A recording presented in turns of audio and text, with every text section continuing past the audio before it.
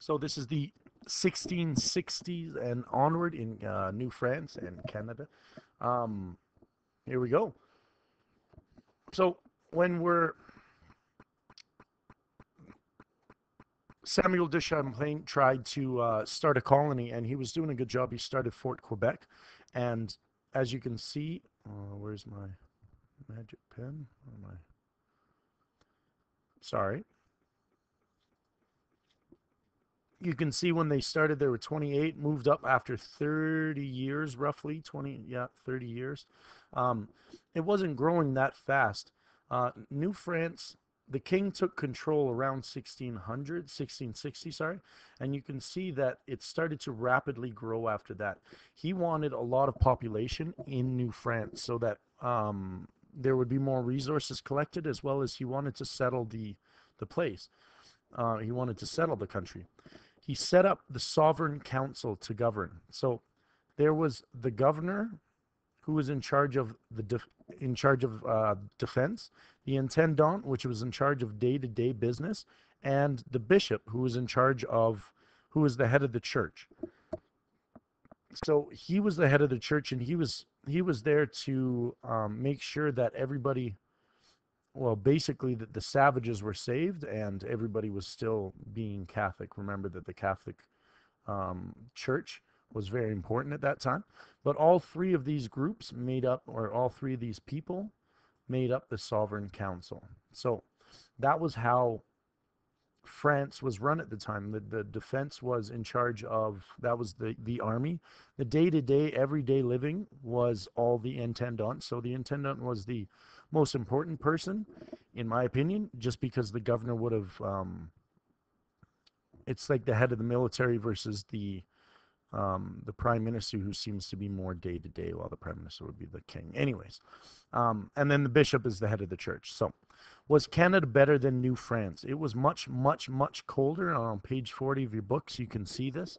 But winter gave opportunity, so it meant that boys and girls could go to school because when when you can't farm from November until uh, March, that that gives you a, a, a good opportunity to um, and even it might have been even longer depending on the school, but it, you had four or five or six months to fill where you had to entertain these kids and keep them off the off out of the snow so that they're not just running around and building forts all summer or all winter. Sorry, um, it gave them a great opportunity to go to school.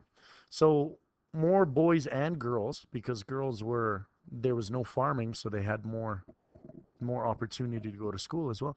The men opportunities in France were very limited because unless you owned a farm, it was tough to become a farmer. You had to lease your land from somebody else, and the, the taxes were very high. You had to give up quite a bit to become a farmer in France. So the life was not good in France.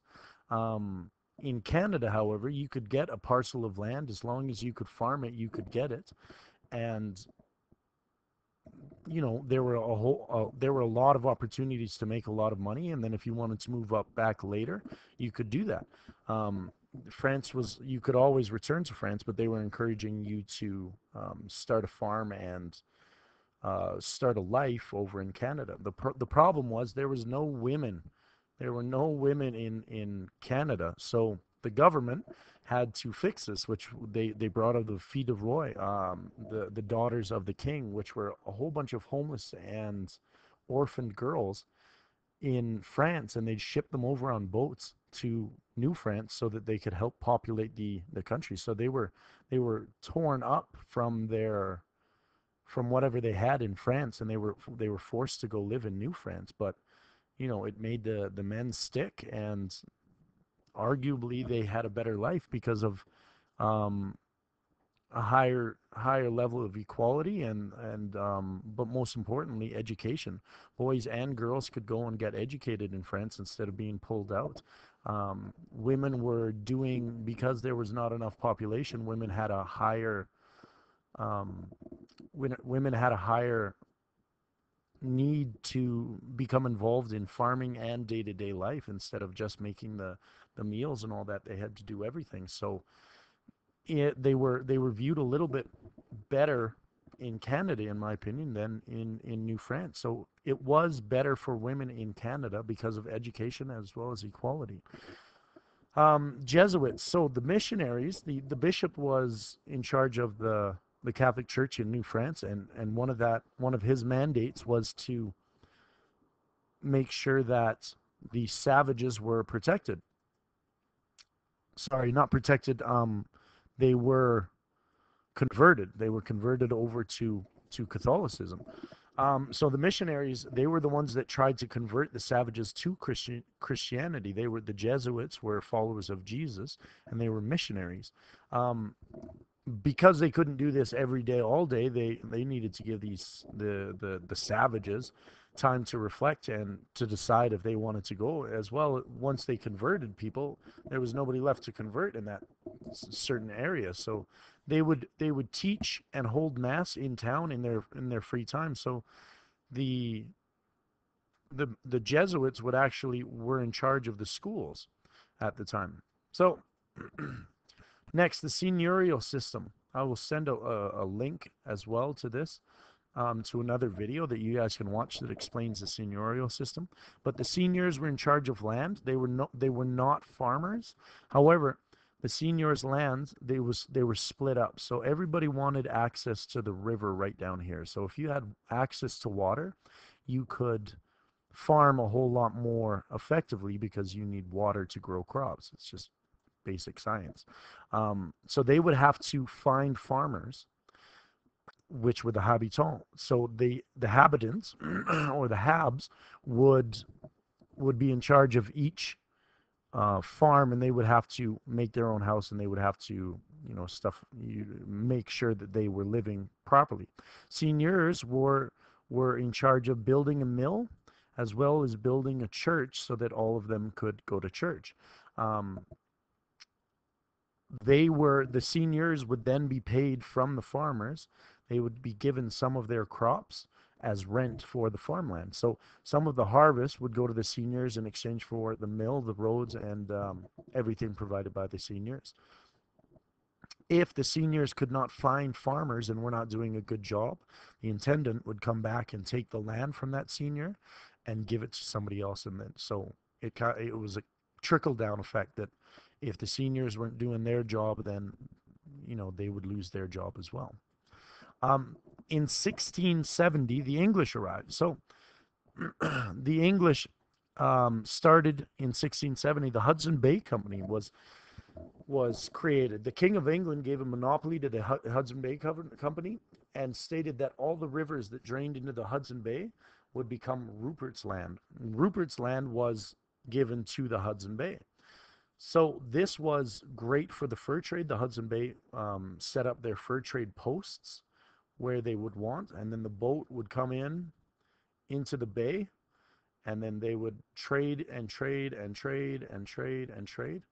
And of course, um, the rivers were a great way to um, to transport furs within Canada at the time. So it was very easy to get to these forts based on the rivers. It was actually, and it was closer than Montreal and Quebec. So the English and the First Nations, um, the difference between the French, because the French had the Cour de Bois, where the runners of the woods, so they would, the French would come to the, the First Nations, but the English made the First Nations come to them. Um, it led to less of a relationship compared to the French, because if you only see them to trade, you don't live with them, you don't get, you know, you don't need them.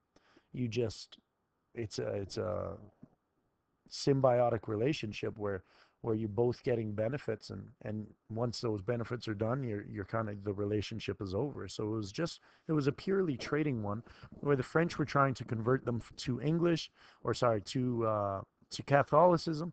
They were trying to um, they really they cared a little bit more about the the first nations people. So it, it it, they, the French had a much better relationship than the English with the First Nations. Um, the English also did not try to populate Canada. They were not there to populate Canada. Theirs was a 100% mercantilist system. It was not imperialism. It was more in, uh, mercantilist because it was based purely on trades. They they weren't care they didn't care about Canada. They all they wanted was the furs out of Canada.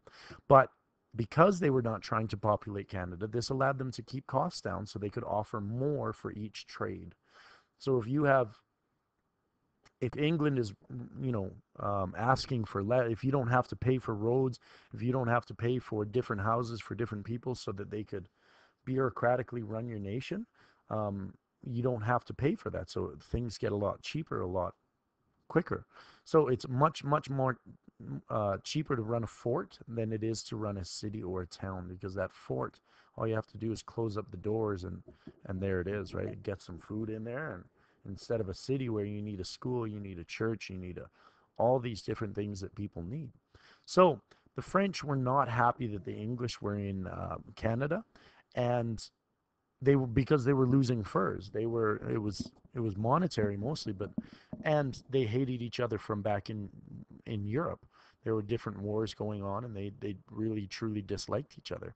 Now they were losing furs, so the French had started to intercept traders which were heading to the forts and traded with them before they could get there. So if, if the river was going like this, going up and going to the fort over here, the French would just merely meet right here on the in the river and trade with the furs. So if you could go only half the distance and then come back, it would be a lot quicker and easier than trading at the fort. So some people were very loyal to the French, knowing or to the English, knowing that they would get a better price if they went to the English, but the the um, the cost benefit of, of traveling the rest of the river was was not always was not always worth it. So often the, the English lost um, business to the French, but the French could not police every river and they couldn't just put people there and wait to intercept their furs. So it was really a, it was a it was a chance waiting for those furs. Um, so the English still did pretty well as in you know despite this. The French also started to attack the forts and which caused more more of a problem later on. Um, that's the show for that's the slides. Hopefully you were following along in your book and this is the end of chapter uh, 3 and chapter 2 combined. So, yeah,